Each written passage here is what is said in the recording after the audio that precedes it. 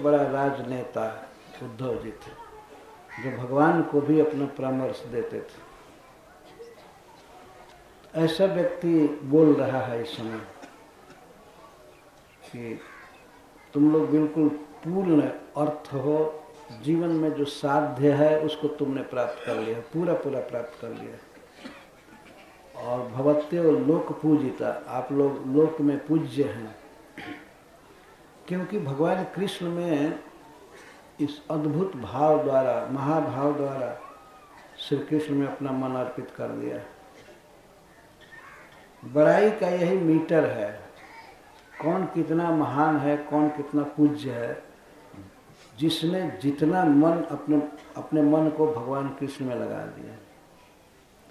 तो गोपियाँ तो मन मात्र ही नहीं लगाई थी वास्तव में। श्री कृष्ण में मन लगाया जाता है।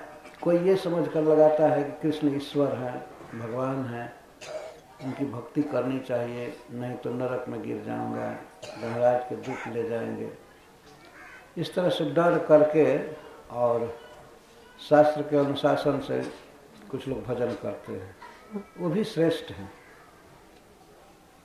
लेकिन इससे भी बहुत गुना श्रेष्ठ वे हैं जो श्री कृष्ण से स्वाभाविक प्रेम करते हैं। किसी भय से नहीं, किसी आकांक्षा से नहीं, मुक्त होने के लिए नहीं, जन्म मरण के चक्र से छूटने के लिए नहीं। बस प्रेम करते हैं। और उससे भी उच्चतर वे हैं जो किसी भाव से श्री कृष्ण का भजन करते हैं।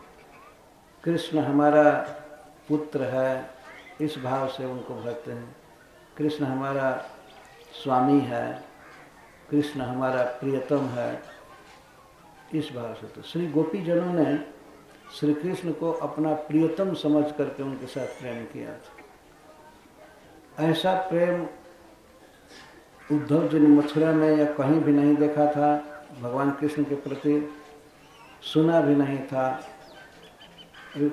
स्पष्ट कहते हैं कि जासा मन भगवती वासुदेव इति अर्पितम।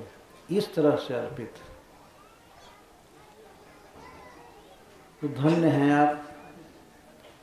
इसके बाद बताते हैं कि कृष्ण में भक्ति ही पंचम पुरुषार्थ है, सबसे बड़ा पुरुषार्थ है, सबसे बड़ी कमाई है। दानव, व्रत, तपो, होम, जप, स्वाध्याय संयम ही श्रेय भी विविधश्चान्य ही कृष्ण भक्ति ही साध्य वेदों में, शास्त्रों में मनुष्य के लिए कुछ श्रेय साधन बताए गए हैं। ऐसा करने से उसको कल्याण होगा, उसे इसकी प्राप्ति होगी, ये होगा। तो जो शुभ कर्म है अच्छा फल देते हैं, मुक्ति देते हैं, स्वर्ग देते हैं, या सिद्धि देते हैं, धन बढ़ाते हैं, भोग बढ़ता है, कई साधनों से तो जितने भी साधन हैं अपना परलोक सुधारने के लिए तो उसमें है एक दान। दान का अर्थ है विष्णु को, भगवान को देना और वैष्णवों को देना।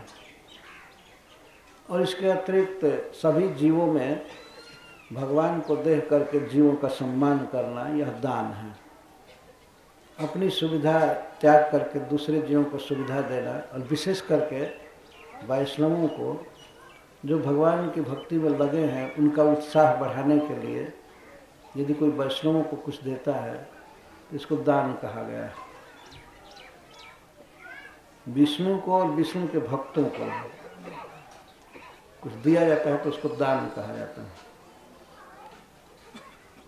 और व्रत नियम पालन। वेदों में लिखे गए नियमों का पालन करना इसको व्रत कहते हैं। जैसे एकादशी व्रत। एकादशी के दिन उपवास करना और अधिक से अधिक भगवान के नाम जपना, पूजा करना, इसको व्रत कहा जाता है। और तप। तप का अर्थ है इंद्रियों को भोगों से रोकना, स्वधर्म का पालन करना। स्वधर्म पालन में कष्ट होता है। परंतु उस कष्ट को अपनी इच्छा से सहना, इसको तपह कहा गया। तपस्या। और होम। होम का अर्थ है हवन करना। अग्नि में घी की आहुति देना। यह भी एक श्रेय साधन है। दो प्रकार का हवन होता है। एक अग्नि में और दूसरा हवन वैष्णवों के मुँह में किया जाता है। इस शास्त्र में लिखा हुआ है। वैष्णवों के मुख में हवन किया जाता है कि उनको अच्छा अच्छा बनाकर खिलाया जाता है। ब्राह्मणों के मुख में हवन किया जाता है। ये बात लोक में भी प्रसिद्ध है और वेद में भी है। वैष्णवों को, ब्राह्मणों को खिलाने से पुण्य होता है और परलोक में बहुत सुख मिलता है। उस व्यक्ति को। इसको वपन भी कहा गया है। वपन का अर्थ है बोना। जैसे हम लोग खेत में बीज डालते हैं तो एक बीज, कई सौ बीज को लेकर के आता है। एक गेहूँ का पौधा कितना गेहूँ लेकर आता होगा वो तो उसकी उपज पर निर्भर करता है। पचास अगर दाना लाता है तो पचास गुना हुआ नवर तो क्या करने से? बीज वपन करने से, बोने से। कुछ ऐसी जगह है जहाँ पर कि उसको बोया जाए तो कई गुना फल मिलता है उसका। और कुछ काम ऐसे हैं, अगर उसे किया जाए तो कई गुना फल अर्थात दुख मिलता है। जैसी करनी, वैसा फल आज नहीं तो निश्चय करो जो आदमी कार्य करता है, उसका फल आज नहीं मिलता है, लेकिन कल तो अवश्य मिलेगा। अगले जन्म में तो उसे मिलना ही है। अच्छा कर्म करेगा व्यक्ति तो अच्छा फल मिलेगा, बुरा कर्म करेगा तो बुरा फल मिलेगा। ये तो निश्चित है। इस जीवन में जो कोई व्यक्ति वैष्णवों को खिलाता है, गरीबों को खिलाता है, ब्राह्मणों को खिलाता है तो उसे परलोक में कभी अभाव नहीं होता है और दूसरों को दान देते ही रहता है। जो दानी हैं, वे दान देते देते जीवन बिताते हैं। और जो चोर है, चोरी करते ही बिकता है कुछ भी नहीं जुटता है उसको। देखा गया है। भगवान राम से कोल भील कह रहे थे चित्रकूट में, यही हमार अति बड़ सेवकाई लेहिन बासन बसन चोराई। दिनता बस कर सरकार, हम क्या सेवा करें आपकी? आपकी यही बड़ी सेवा होगी कि हम आपका बर्तन और कपड़ा नहीं चुराते हैं। यही भारी सेवा। ले ही न बासन बसन चुराई। यही हमारा अति बड़ सेवका यही बहुत बड़ी सेवा है। बासन माने बर्तन। बर्तन और कपड़ा छोड़ दे, यही भारी सेवा है। हम लोगों की ऐसी जाति में आदत कोल भील कहते हैं। वो तो भक्ति से कह रहे हैं, लेकिन सचमुच के कुछ लोग बासन नहीं तो जूता तो चढ़ा ही लेते उनको जन्म जन्म में दरिद्र रहेंगे। इस जीवन में भी दुख भोगेंगे और आगे जीवन में भी। इसलिए ये काम वो भी वैष्णवों का, ब्राह्मणों का जूता चुराना तो घोर नरक में जाएँगे।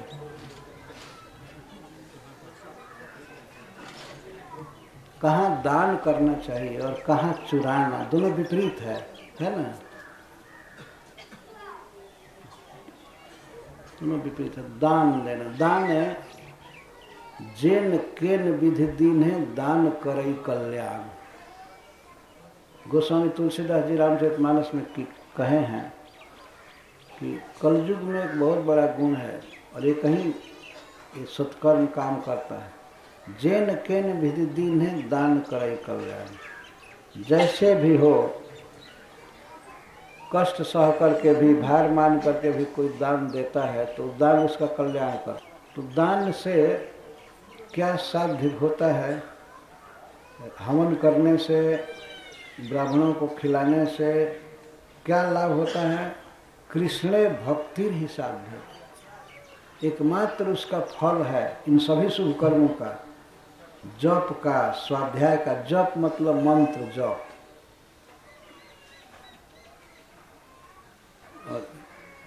मंत्र जप का फल ये है कि कृष्ण में भक्ति और स्वाध्याय, वेद का अध्ययन। वेद पढ़ना, रटना, श्लोक वगैरह उसका फल क्या है? फल है कृष्ण भक्ति ही निश्चित, ही मैंने निश्चित। कृष्ण में भक्ति उत्पन्न होना यही सबका फल है। कोई दान देता है, कोई वेद अध्ययन करता है और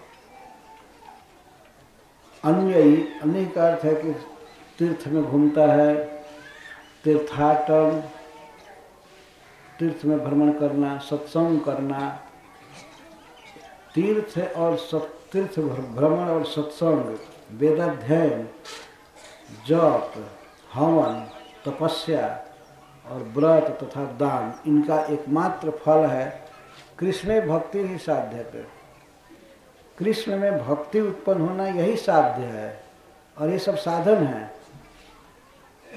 इन साधनों के द्वारा जप में महामंत्र को नहीं लेंगे। महामंत्र का जप करना तो स्वयं ही साध्य है, वो भगवान का नाम। लेकिन अन्य मंत्र कई लोग जपते हैं आवृत्ति करते हैं, जो भगवान का मंत्र नहीं है तो वो मंत्र सब बेकार है। उसको जपने से न तो भक्ति मिलेगी, ना कुछ होगा। महामंत्र को जपने से भक्ति उत्पन्न होती है। भगवान का नाम जपने से भक्ति उत्पन्न होती है। और भी विविध ही श्रेय, श्रेयो भी, अन्य भी जो कल्याण करने वाले साधन हैं, कुछ को तो गिना है, जैसे दान, व्रत, तपस्या, हवन, जप, वेदाध्ययन और संयम, इंद्रिय निग्रह, इंद्रियों को बस में करना। अन्य भी विविध ही, अन्य श्रेय च अन्य भी जितने भी कल्याण करने वाले साधन हैं, इन साधनों के द्वारा एकमात्र फल है कृष्ण भक्ति। कृष्ण भक्ति। कृष्ण में भक्ति है। साध्यते उत्पाद्यते इन साधनों के द्वारा कृष्ण में भक्ति उत्पन्न की जाती है। अगर कोई ठीक से करे तो भगवान की कृपा से इन साधनों से भगवान में भक्ति हो जाती है।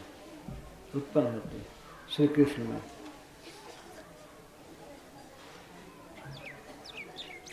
सामान्य भक्ति।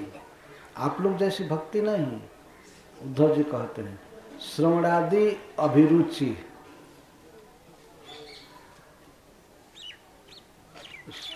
श्रीपाद सनातन गोस्वामी जी अर्थ लिखते हैं, श्रवण में अभिरुचि हो जाए, यही इनका फल है। नहीं तो ये जितने फल हैं, ये बेकार हैं, व्यर्थ हैं इनको करने से कोई फ़ायदा नहीं।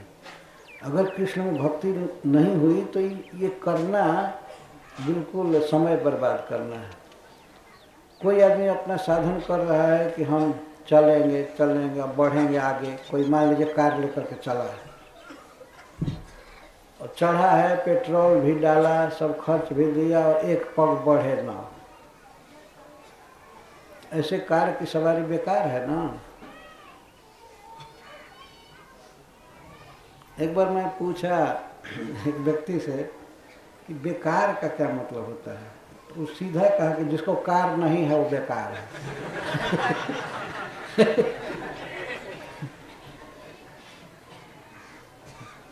अमेरिका में सचमुच में जिसको कार नहीं है, उससे बेकार कोई नहीं है।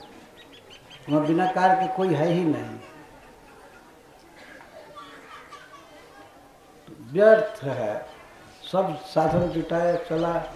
एक बार की सत्य घटना लोग बताते हैं कि मथुरा के चौबे जी लोग विश्राम घाट पर एक बार नाव पर चढ़े। पूर्णिमा की रात थी और कहे कि चले नौका विहार करें और आगरा की तरफ़ चले। कम से कम ब्रह्मांड घाट तक जाए। तो उस भाँग पी लिए थे सब। चढ़ गए नौका पर, ढोलक झाड़ ले लिए, गा रहे थे। और रस्सी जो बंधी थी, उसका हुक जो लगा था खूंटी में, उसको खोले नहीं तो भाँग पी कर के उन्मत थे। और एक व्यक्ति खे रहा था तो हिल रही थी नौका तो तो मस्त था, और ये लोग भी। ये सोच रहे हैं कि हम चल रहे हैं, नौका चल रही है।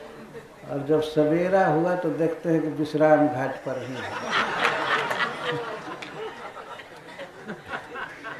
जहाँ से चले थे, वहीं हैं। तो कभी किसी ने कहा कि अरे वो तो लंगर निकला नहीं है, रस्सी निकली नहीं है। तब उनको पता चला कि हम लोग तो केवल यहीं रह गए। ऐसे ही कुछ लोग बहुत बहुत साधन दिखावा में करते हैं। जहाँ हैं वहीं रह गए। कोई वैराग्य नहीं, कोई ज्ञान नहीं, भगवान में भक्ति नहीं। जहाँ थे बस वहीं रह गए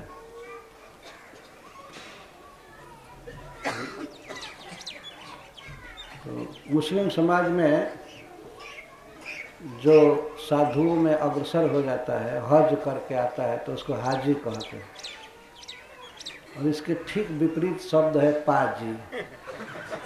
तो कहे थे मक्का गए, मदीना गए, बन के आए, हाजी, पहली आदत नहीं गई, फिर पाजी के पास। पाजी ही रह गए।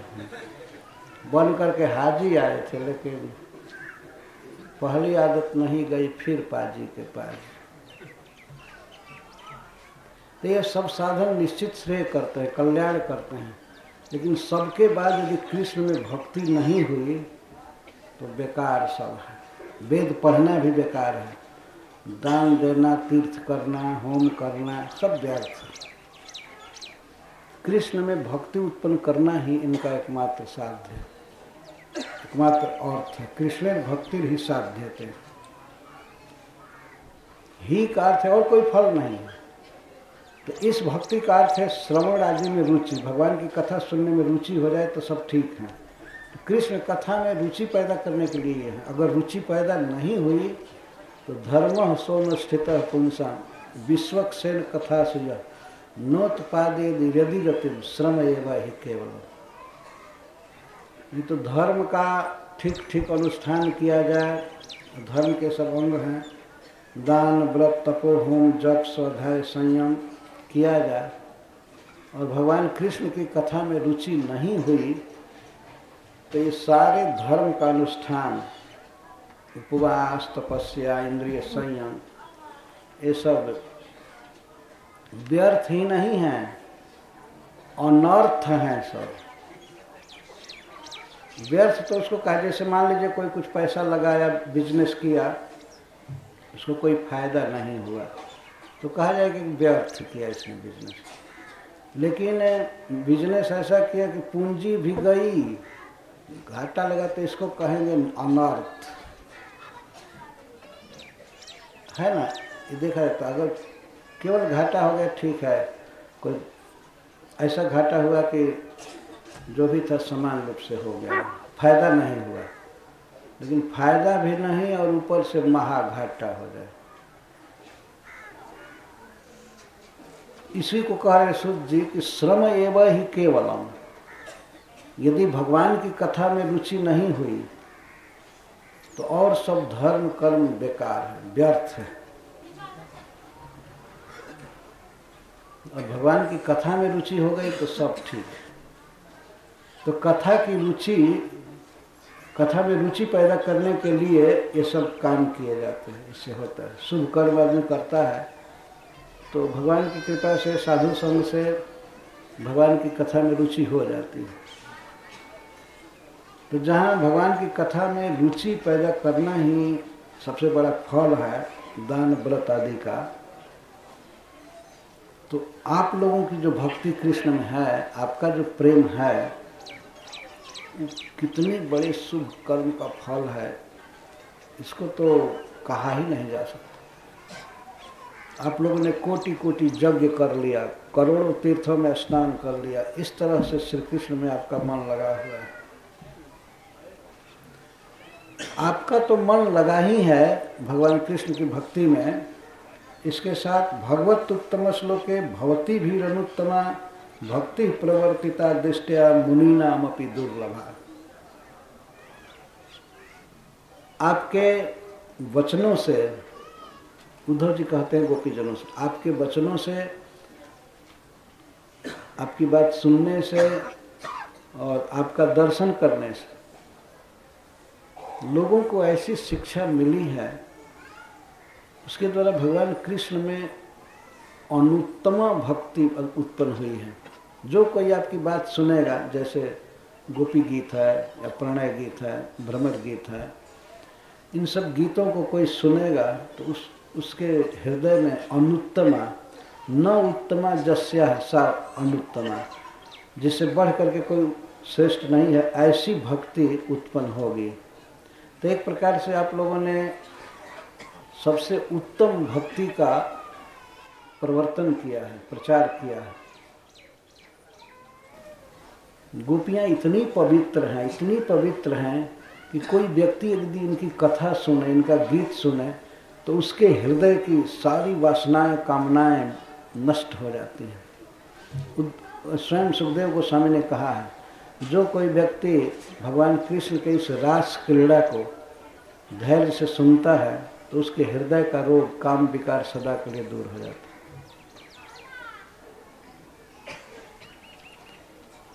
यह महान आचार्यों का, महान महाभागवतों का उद्गार है। जो गोपियों ने भक्ति का प्रवर्तन किया, इसका अर्थ ये नहीं है कि उन्होंने प्रचार किया। यह अर्थ है कि उनका उदाहरण देख करके जगत के बड़े बड़े लोग सीखेंगे। स्वसुख वासनाहीन भगवान से प्रेम, भगवान को सुख देने के लिए। तो यह अनुत्तमा भक्ति है। जिससे उत्तमा और भक्ति नहीं है, वो है अनुत्तमा। सर्वश्रेष्ठा इत्यर्थ। सबसे श्रेष्ठ भक्ति। और यहाँ तक कि मुनि लोग भी इससे सीखेंगे। मुनिना बपि दुर्लभा। सनकादि आदि जो मुनि हैं, इन लोगों के लिए भी ये दुर्लभ भक्ति है। ये लोग भी नहीं जानते थे आज तक कैसी भक्ति होती है। जैसी भक्ति गोपियों में है, वैसे नारद जी में भी नहीं है। बड़े बड़े मुनियों में भी नहीं है। श्री नारद जी सीखे हैं गोपियों से और अपने भक्ति सूत्र में कहते हैं, जथा ब्रज गोपी का नाम। भक्ति का डिफिनेशन दिए हैं और भक्ति का सही वर्णन किए हैं। विशुद्ध भक्ति का जब वर्णन करते हैं तो वे उदाहरण देते हैं, जथा ब्रज गोपी का नाम। जिस तरह के ब्रज गोपियों में भक्ति थी, प्रेम थी। सा परम प्रेम रूपा, परम प्रेम रूपा भक्ति। दिष्टिया कह करके उद्धव जी ये कह रहे हैं कि इस संसार के जीवों का भाग्य है, उनके भाग्य से, मुनियों के भाग्य से आप लोगों का यह प्रेम भगवान कृष्ण में प्रकट हुआ है। मुनियों का भाग्य है, हम लोगों का भाग्य है, सभी जीवों का भाग्य है कि इस भक्ति का आदर्श वे देख रहे हैं और सुनेंगे आगे चल करके। भक्ति ही प्रवर्तिता दिष्टिया मुनिना न दुर्लभ। तो मैं आप लोगों के सौभाग्य को नहीं कह रहा हूँ। उद्धव जी कहते हैं गोपीजनों से, मैं तो दुनिया के लोगों का भाग्य देख रहा हूँ कि इस तरह के भक्ति का ज्ञान उन्हें हुआ। आपके आचरण से। बड़े सौभाग्य बड़ा सौभाग्य है जगत के जीवों का, जो आपके विषय में सुनेंगे और आपके भक्ति भाव की शिक्षा लेकर ऐसी भक्ति करने की चेष्टा करेंगे। तो आप अपने को हीन मत समझिए। दिष्टया पुत्रान पतिन देहान स्वजनान भवनानि च हित्वा वृणीत यूयम जत कृष्णाख्यम पुरुषम परम। फिर तुम कह रहे हैं। सौभाग्य की बात है लोगों के लिए कि आप लोगों ने भक्ति के को तो दिखाया, इसके साथ दिखाया कि कृष्ण के लिए किस तरह त्याग किया जाता है। कृष्ण के लिए आपने अपने पुत्रों का त्याग किया। गोपियों के कोई पुत्र नहीं थे, लेकिन उसके बहन के पुत्र या कोई दूसरे दूसरे छोटे छोटे बच्चे। इनकी भी सेवा का ध्यान नहीं रखा। पुत्रों को छोड़ा, पतियों को छोड़ा। देह को छोड़ा। देह छोड़ने का मतलब है देह की भी कभी चिंता नहीं किया। देह खाया कि नहीं, पिया कि नहीं। अगर कृष्ण के बांसुरी की ध्वनि आई निकुंज से तो चाहे वो आधी रात हो चाहे शाम का समय हो, या जेठ की दोपहरी हो, कुछ भी हो, सब कुछ छोड़ करके चल देते थे। कभी ये परवाह नहीं किया। जैसे देह के बारे में कह रहे हैं कि देहन हित्वा, देह छोड़ करके तो इसका अर्थ है कि देह की उपेक्षा करके। और वैसे ही सबका स्नेह छोड़ करके और स्वरूप से भी उनका संग त्याग करके, स्वजनान, अपने स्वजनों को। स्वजन का अर्थ है पति तो स्वजन है ही, अरे स्वजन का अर्थ है भाई, पिता, सास, ससुर, देवर, जेठ, सबको छोड़कर भवनानी च, और अपने भवन को छोड़कर गोपियों को ये चिंता नहीं रहती थी कि जब मैं लौटूँगी तो कहाँ रहूँगी। इतना ही ध्यान रहता था कि प्रियतम बांसुरी बजा करके मुझे बुला रहे हैं। बस जाना है जाना है। इसको एक कवि ने वर्णन किया है, एक पद में, देव कवि की रचना। घटा घहराती, बिजू छटा छहराती, आधी रात हहराती कोटि कीट रुंझलो एक समय की बात है, श्री कृष्ण बुलाए, या कभी भी बुलाते थे तो घटा घहरात, एक दृश्य बता रहे देव कवि। घटा घहरा रही थी, बादल गरज रहे थे। बादल छाए हुए थे और बहुत गर्जन हो रहा था। बिजू छटा छहराते और बिजली की छटा बीच बीच में चमकती थी, कड़कती थी, वज्रपात होता था। आधी रात हहराती, आधी रात के समय रात हहरा रहे थे। इसका अर्थ शून्य शाम रजनी रात। और कोटि कीट रति रुंजला, करोड़ों करोड़ों कीड़े कीड़े भरे थे पथ पर। वो चलता हुआ रास्ता नहीं था। हुकत उल्लूक बन, कुकत फिरत फेरू। और उल्लू कुकते थे, हु हु करते थे। बहुत भयावह रात थी। रात में उल्लू खूब बोलते हैं, क्योंकि रात में ही उनको दिखाई देती है, दिखाई देता है। दिन में दिखाई नहीं देता है। रात में उल्लू बोल रहे थे, और कुकत फिरत फेरू फेरू मैंने सियार, और सियार सब हुआ हुआ करते थे। और भूकत जो भैरो भूत गावे अली गुंजला और कुत्ते भोंक रहे थे। भूकत जो भैर भैर मैंने कुत्ता। ये सब भूख रहे थे। भूत गावे अली गुंजला और भूत गा रहे थे। ऐसी भयानक रात थी। अमावस्या की रात रही होगी। भूत गाते थे जैसे भंवरा गाते हैं। इतना हाको डाको जो भी उत्तर लगता था उनके। झीली मुख मुंदी। तो वहाँ पर राधा रानी चली है श्री कृष्ण से मिलने के लिए। अकेले में सखी भी कोई नहीं लिया। बांसुरी की आवाज़ सुन करके चल दे झीली मुख मुंदी। झीली जो बोलती हैं कर्कस्त, उनका मुख मुंद करके। इसका अर्थ है कि अपने पैर से हाथ से धमक देती हैं तो वो उतना बंद हो जाती हैं। झीली जब बोलती हैं तो हाथ का आघात देने से और पैर की धमक देने से बंद होता है। झीली मुख मुंदी। तहाँ बिछी गन गुंदी और बिछी पर पैर रखते हुए जा रहे हैं आधी रात ध्यान नहीं कि बिच्छू मारेगा, क्या होगा? विश्व ब्यालनी को रूंदी के मृलानी के पुंज में और सांपों को ऐसे कुचलते जा रहे हैं, चलते समय, जैसे लग रहा है कि वे कमल के नाल पर चल रही हैं। सांप कितने उलझ रहे हैं पैरों से, लेकिन चलती जा रही चलती जा रही जाई वृषभान की कन्हाई के स्नेह बस, आई उठी ऐसे में अकेली केली कुंजला। वृषभानु की पुत्री जाई जाई वृषभानु की कन्हाई के स्नेह बस। और कन्हाई के स्नेह बस, कृष्ण के स्नेह बस, आई उठी ऐसे में अकेली केली कुंजला। ऐसे में अकेले बरसाने से चले और जहाँ कृष्ण है, वहाँ पहुँचे। ये प्रेम है गोपीजनों का। घटा घराती बीजू, छटा छराती आधी। घटा घर बजाने की ज़रूरत नहीं। घटा घराती बीजू छट छराती आधी